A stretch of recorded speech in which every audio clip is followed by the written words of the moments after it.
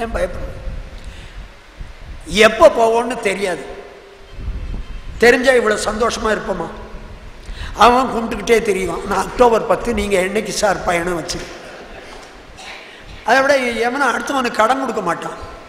இதான் மார்ச் இருபத்தெட்டில் போகிற கேசாச்சே எவன் இது திருக்குறளார் சொல்லுவார். தெரியாது. ரெண்டாவது என்ன பயம் தெரியுமா? எங்கே போவோன்னு தெரியாது. என்னுடைய உயிர் புறா பறந்தால் அது இறைவன் திருவடியிலே தான் போய் சேருங்கிற நம்பிக்கை எனக்கு இருக்குமானால் மரணத்தை கண்டு நான் அஞ்ச மாட்டேன். இறைவனுடைய திருவடியில தான் நான் மடங்குகிற தாய் பராசக்தியின் திருவடியில் போய் சேரும் என்று நான் நினைத்து விடுவேனே ஆனால் மரணத்தை கண்டு நான் பயப்பட மாட்டேன். எங்க போவோன்னு தெரியாது. அமெரிக்காவில் நியூயார்க்கில் பேசிட்டு லாஸ் ஏஞ்சல்ஸ்க்கு போகணும். ஜேஎஃப்கே ஏர்போர்ட்டில் நிற்கிறேன் கென்னடி ஏர்போர்ட்டில் ஆறு பேர் தமிழ்ச்சங்கத்து நண்பர்கள் வழி அனுப்ப வர்றாங்க. அந்த வாரம் தான் நிறைய பிளேன்லாம் உளுந்து கிராஷ் ஆகி நிறைய பேர் செத்து போயிருக்கான். டிவியில் பார்த்துருக்கேன். நான் பயந்து நடுங்கிக்கிட்டே நிற்கிறேன் அவர் சார் அந்த ஏழாவதா நிற்குது பாருங்கள் seven vote oh seven Boeing அதில் தான் நீங்கள் போக போகிறீங்கன்னு வார்த்தையே நல்லா இல்லை.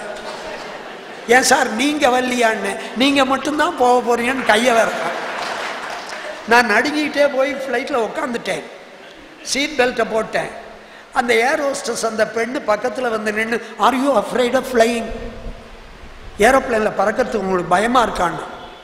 ஒரு சின்ன பொண்ணுக்கிட்ட போய் இவ்வளோ பெரிய ஆம்பளை பயமாக இருக்குன்னு சொல்லாம. I am not afraid of flying உடம்பு முழுக்க பயம். எனக்கு பயம் இல்லை சொன்ன உடனே விமானம் பறக்க ஆரம்பிச்சது. ஒவ்வொரு வகை விமானமும் ஒரு குறிப்பிட்ட உயரத்தில் பறக்கணும்னு அங்கே ஒரு விதி இருக்குது கேப்டன் ஆஃப் த குரூ ஒரு அனௌன்ஸ்மெண்ட் அண்ட் இம்பார்ட்டண்ட் அனௌன்ஸ்மெண்ட் இந்த இயர்ஃபோன் எடுத்து காதில் போட்டுக்கிட்டேன். அவர் சொல்கிறார் நாம் இப்பொழுது ஐம்பத்தி ஐயாயிரம் அடி உயரத்தில் பறந்து கொண்டிருக்கிறோம். யார் கேட்டா? நான் தான் உயிரை கையில் பிடிச்சின்னு உட்காந்துருக்கேன் எந்திரங்கள் எல்லாம் சரியாகவே இயங்கிக் கொண்டிருக்கின்றன. நாம் இன்னும் மூன்று மணி நேரத்தில் லாஸ் ஏஞ்சல்ஸ் சென்றடைவோம். சாக்லேட் வாங்கி வாயில் போட்டுக்கிட்டு உன் பேர் என்னம்மா? ஊர் என்ன? வயசு என்ன? பேசிகிட்டு இருக்கேன். அடுத்த அரை மணி நேரம் கழித்து திரும்பி ஒரு அறிவிப்பு. இயர்ஃபோன் எடுத்து போட்டேன். We are flying at an altitude of fifty five thousand feet நாம் ஐம்பத்தையாயிரம் உயர அடி உயரத்தில் பறந்து கொண்டிருக்கிறோம். All the engines are intact எந்திரங்கள் சரியாகவே இயங்கிக் கொண்டிருக்கின்றன. அதுக்கப்புறம் அந்த தொடருது அந்த அறிவிப்பு. இரண்டு முகமூடி போட்ட இளைஞர்கள் கையில் எந்திர துப்பாக்கியை வைத்துக்கொண்டு விமான ஓட்டியின் இரண்டு பக்கத்திலும் நின்று கொண்டு விமானத்தை தாங்கள் விரும்புகிற திசையில் திருப்பிக் கொண்டிருக்கிறார்கள். யாரும் பயப்பட தேவையில்லை. உள்ள போன சாக்லேட் வெளியே வந்துடும்.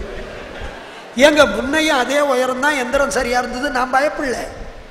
இப்போ நான் பயப்படுறேன் அதே உயரம் தான் ஏன்? முன்ன லாஸ் ஏஞ்சல்ஸ் போவேன்னு தெரியும் இப்போ எங்க போவேன்னு தெரியாது. எங்க போவேன்னு தெரிஞ்சவன் கர்ணன்.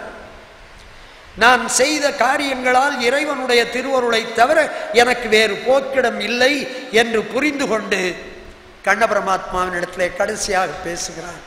அருமை பெரியோர்களே பாரதத்தில் வருகிற இந்த கதை பழங்கதை அல்ல.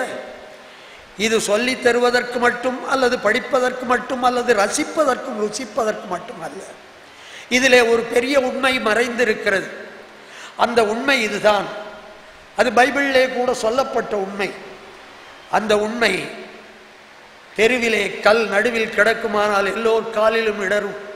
அதை எடுத்து வைத்து கட்டிடத்திலே அமைத்து விடுவாயானால் அதனால் யாருக்கும் தீங்கு வராது.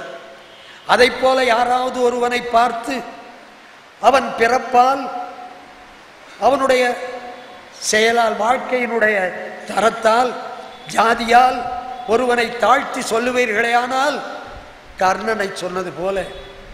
துரோணர் சொன்னார் ஜாதி தெரியாதவன் என்று. ஓடினான். பரசுராமன் சொன்னார் ஜாதி தெரியாதவன் என்று. ஓடினார். இழிந்த பிறப்பு இவன்தானே என்று கிருபாச்சாரியன் சொன்னார். ஓடினான். விதிரனுக்கு பிறப்பு அறியாத பாவிதானே இவன் என்று சொன்னான். ஓடினான். ஓடிக்கொண்டே இருந்தவனை இரண்டு கைகள் அகலமாக தழுவிக்கொண்டன. அப்படி தழுவிக்கொண்ட கைகள் துரதிர்ஷ்டவசமாக துரியோதனனுடைய கைகள். ஒருவனை தாழ்ந்தவன் என்று ஜாதியாலோ இனத்தாலோ மதத்தாலோ சொல்லும்போது அவன் யாரிடம் போய் சேருகிறான் என்றால் தீயவர்களிடம் போய் சேர்ந்து விடுகிறான். சமுதாயம் தீமையை அனுபவிப்பதற்கு அவன் காரணமாகி விடுகிறான். இந்த பாடத்தை கர்ணன் நமக்கு போதித்தான். கர்ணன் மறைந்த பிறகும் அந்த பாடம். எவன் ஒருவன் செய் நன்றியால் சிறந்து நிற்கிறானோ எவன் ஒருவன் கொடை குணத்தால் உயர்ந்திருக்கிறானோ எவன் ஒருவன் தன்னம்பிக்கையால் தளராது இருக்கிறானோ எவன் ஒருவன் வாழ்க்கையில் எப்பொழுதும் நன்மையே நினைத்து ஆச்சரியமில்லாது இருக்கிறானோ அவன் தெய்வத்தால் ஆதரிக்கப்படுகிற அளவுக்கு அவன் உயர்வான்.